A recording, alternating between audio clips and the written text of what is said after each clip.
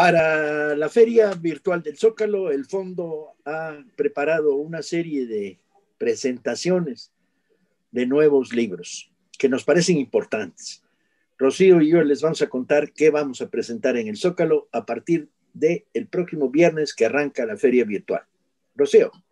El Zócalo es una de nuestras ferias favoritas y vamos a extrañar mucho estar en, en la plancha, pero bueno, está muy bien que sigamos adelante y como dice Paco, pues tenemos ahorita unas novedades buenísimas de la colección popular, les se las hemos contado en, en, momentos de desde el fondo, hemos entrevistado a todos los autores, pero ahora sí ya son libros que están arribando en nuestras librerías o que ya están distribuidos. El primero que vamos a presentar es Los Impostores de Santiago Gamboa, eh, con el que Paco Taibo va a platicar, ¿verdad? Esa, esa novela es bastante divertida, este, misterio, ¿no, Paco?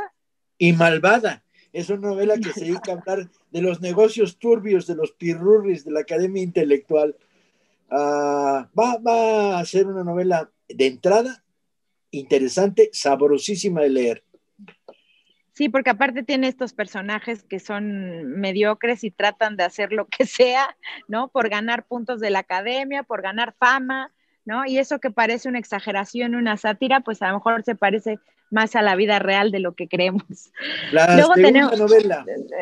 Eh, la luz prodigiosa de Fernando Marías es realmente la presenta a Julia Santibáñez y nuestro Andrés Ruiz y el autor, ¿no? Nos, nos conectamos hasta Madrid con, con, Fernando Marías. La verdad es que es una novela preciosa que se plantea qué hubiera pasado si Federico García Lorca no hubiera muerto cuando fue asesinado.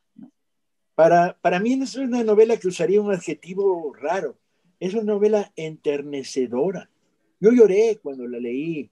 Es enternecedora. La manera como Fernando construye con un enorme ingenio la posibilidad de que Lorca no hubiera muerto y dejar que el lector poco a poco vaya descubriendo los hilos es apasionante. El tercero. No, coincido contigo. Eh, y nada más, pues esa fue su primera novela y ahora en esta reedición, pues para Fernando se cierra un círculo, ¿no? Esa entrevista fue también muy bonita el siguiente que presentamos es La Alegría del escritor brasileño Luis Rufato, uno de los escritores eh, más comprometidos socialmente, una voz fresca, digamos, bueno, no es, es un escritor relativamente joven y es un libro muy breve, es una novela eh, que transcurre entre lo onírico y las aventuras, ¿no? Y, la, memoria de un, del personaje que se llama como el autor, como Luis Rufato, ¿no? Esa voy a estar yo acompañando al autor y eh, pues la recomendamos mucho también de nuestra popular. El que sigue es nuestro examen extraordinario de Juan Villoro, que presentan Mariana H. y Jorge Comensal, y por supuesto el autor. ¿Qué tal esos cuentos, Paquito? Es un libro de cuentos francamente bueno. Luis hizo una antología a su, a su medida, a su cariño, perdón, siempre lo confundo. Y siempre me, dice con su papá. Ah, es, es una antología mm, hecha a su medida. Él encontró los cuentos y que quería poner reunidos, pero además hay varios inéditos en la antología, cuentos que no se habían publicado. Yo creo que va a ser uno de los grandes eh, libros que, que, gusten a muchos en este final de año. Y además Muchísimo. Bien, bien barato. Bien barato. 140 pesos en coedición con Almadía y pues además lo de examen extraordinario es padrísimo. Lean, lean la introducción de Juan, realmente vale la pena porque es muy chistoso que dice que extraordinario es algo como especial y en realidad para nosotros irnos a examen extraordinario es como el último chance, ¿no? De pasar una materia, ¿no? Entonces, muy gracioso. Ro, no dijimos cuánto costaba el libro de La Luz, La Luz. Prodigiosa es que está recién entrando a nos acaba de salir de imprenta, lo vamos a distribuir, pero, pero por supuesto va a estar por debajo de los eh, 200 pesos. No, es chiquito, es chiquito. Ah, chiquito, es chiquito. Menos de 100. Eso. Menos de 100. Menos Seguro de 100. menos de 100. Exacto. Ah, el quinto una de nuestras autoras que yo estoy muy contenta de que salga, Carla Suárez, porque me, gusta mucho ella, y tiene este libro que se llama El Hijo del Héroe, que trata de eh, un, un, chavo de 12 años, ¿no? Que vive en La Habana y su papá se fue a la guerra de Angola, ¿no? Y lo matan en la guerra y entonces de pronto se convierte en el hijo del héroe y pues no sabe qué hacer con eso, ¿no? Entonces es una novela también muy entrañable, muy, muy bonita. Sí, una novela además con mucha rudeza, explorando el problema de, de la revolución cubana y sus mitos y simultáneamente explorando el problema de de repente encontrarte con tu papá es una ausencia, pero es una ausencia que tiene una presencia tremenda sobre tus espaldas. Exactamente. Lo presenta la escritora Mayra Santos, ¿no? Desde Puerto Rico se conecta y Carla desde Portugal, donde vive.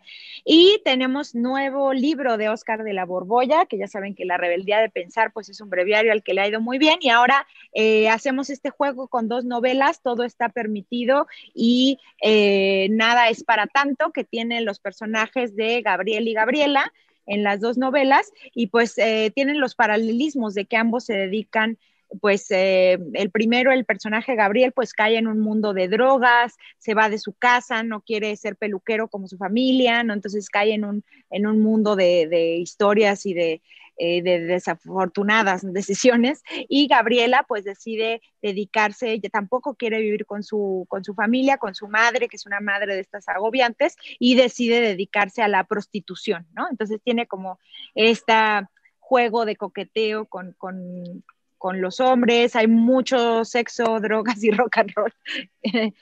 Ah. y, seguramente para un público joven, pues les va a encantar.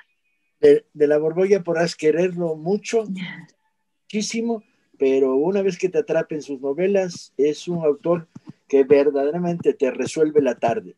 Y en este libro te resuelve dos tardes, porque son dos novelas cortas en un solo volumen para que sea más barato. Y quedó muy bonita la edición, no es por nada. Una más, la última. Tenemos, bueno, nuestros dos de Tierra Adentro que se presentan. Está Cel Cabrera con este poemario que a mí me encanta también de Perras, ¿no? Que es muy buen, muy buen libro. Este, en esta época donde estamos pensando el papel de la mujer en el mundo, pues creo que es un libro fenomenal. Y está también Restaurante Bar Familiar de Luis Lugo, que también es un libro de poesía, pero que se acerca a la microficción y que va haciendo metáforas con los restaurantes, ¿no? Y, de niños tenemos 11 eh, cuentos fantásticos de Casparavicius, siempre me cuesta publicar, pero es un, lo logramos, lo logramos. o sea que va a estar bien ah, buena nuestra programación. Bien, vamos a estar entonces a lo largo de los 10 días de la feria y además Ah, vamos a tener una mecánica de librerías que al rato Fritz les va a explicar, en la cual las librerías de la Ciudad de México les van a dar el número de librerías, la localización, van a estar abiertas con sana distancia en las colas afuera y cada vez que compres un libro, te regalan otro. Porque, y eso luego, algo este programa lo va a informar Salmerón, ah, vamos a regalar seis libros nosotros, junto con la Secretaría de Cultura del DF, uh, tres libros la Brigada para Leer en Libertad y un libro la Secretaría de Cultura que hicimos juntos, que es la antología de poesía de Antonio Machado. Entonces, alguien me dijo, ¿y si, y si quiero llevarme dos libros? Pues haces dos compras, güey. Me lo dijo en cuatro. con dos tickets. Ya te con dos tickets Pero eso es trampa. no vamos a decir nada no vamos a decir nada. Es trampa de la buena, es trampa del que lee. De manera que también es válida la oferta de los regalos para las ventas a domicilio. Todas nuestras librerías van a estar en lógica de recibir pedidos por teléfono. Ah, y entonces ahí va su regalo con ellos, de los libros que va a regalarse en la feria. Luego hablaremos de qué libros. Y va a haber un No es por nada, están bien buenos. Y va a haber un equipo especial de bicicleteros que pone la Secretaría de Cultura del DF para hacer reparto a domicilio en toda la, zona urbana. ¿Y algo más? Sí. Pues ah. vamos a tener un montón de ofertas, que eso también va a estar muy bueno, la compra de libros, ¿no? Como la de los breviarios. Ok. Dentro de un instante aparece el segundo carrusel que hicimos el equipo del fondo, diciendo cuáles son los 42 breviarios los primeros los anunciamos la semana pasada, la segunda tanda la anunciamos dentro de unos instantes, que van a estar a 50 pesos. Ah, no sé si la oferta va a llegar hasta provincia, sí.